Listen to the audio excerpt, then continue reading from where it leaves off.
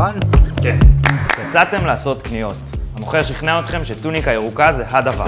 הגעתם הביתה. הבנתם שכנראה לא תלבשו את זה אפילו פעם אחת. רגע, אז החזרתם את המוצר, תקבלו את הכסף. אולי? בוא נגיד, זה לא יהיה כזה פשוט.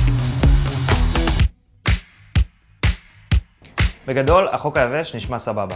כל אחד יכול לבטל את העסקה באופן חד צדדי וגם בלי סיבה. אבל צריכים להיות שני תנאים.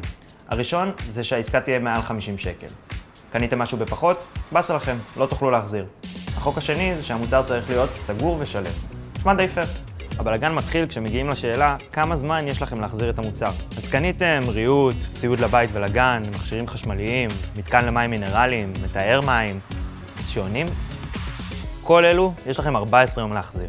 גם אם עשיתם מנוי לאינטרנט או לחדר כושר, יש לכם שבועיים להחזיר.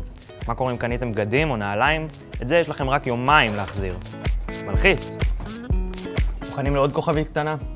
יש דברים שאי אפשר להחזיר, נגיד מזון, הוא מתקלקל.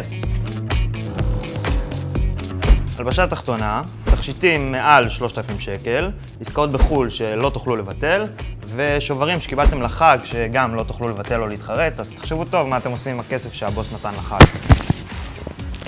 זהו, שיננתם את כל הכללים, עמדתם בכל התנאים, עכשיו תוכלו לקבל גם את כל הכסף שלכם בחזרה.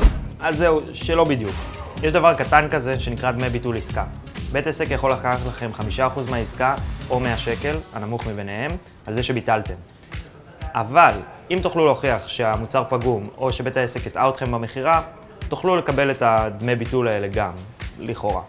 זהו, עכשיו אתם יודעים את רוב מה שצריך לדעת בשביל להחזיר מוצר בישראל. תהנו בקניות.